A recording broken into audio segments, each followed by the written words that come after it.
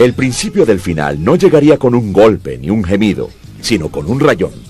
Una noche en Bristol, Connecticut, cantando sobre el escenario frente a miles de admiradores, lo impensable ocurrió. Su pista pregrabada se trabó.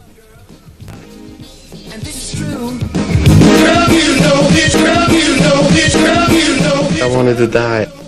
It stopped. Girl, you know it's girl, you know it's girl. 80,000 people. Girl, you know it's girl, you know. You know, I couldn't repeat it 15 times. It got obvious. Uh, so I stopped, I panicked, I ran off stage.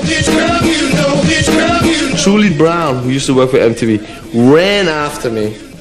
I didn't want to go back to stage. I had enough. 80,000 people waiting. I said, I have enough. I quit.